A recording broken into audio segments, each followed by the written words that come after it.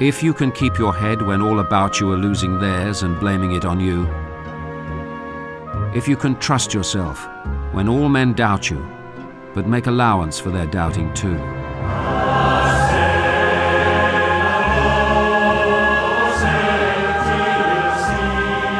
If you can wait and not be tired by waiting or being lied about, don't deal in lies, or being hated, don't give way to hating, and yet don't look too good nor talk too wise.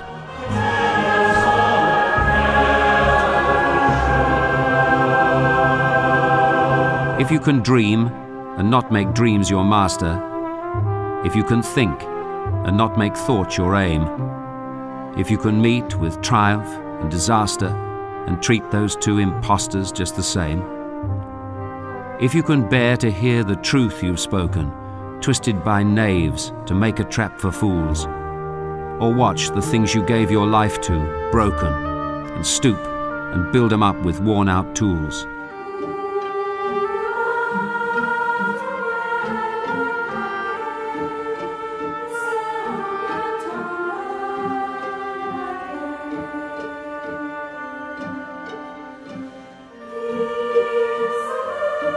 If you can make one heap of all your winnings and risk it on one turn of pitch and toss and lose, and start again at your beginnings and never breathe a word about your loss.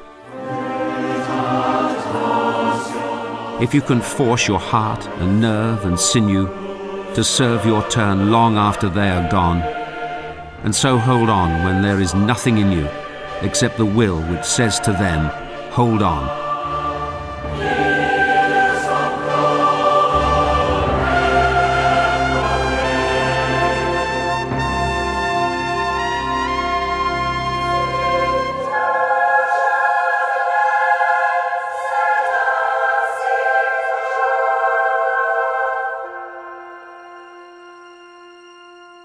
If you can talk with crowds and keep your virtue, or walk with kings, nor lose the common touch.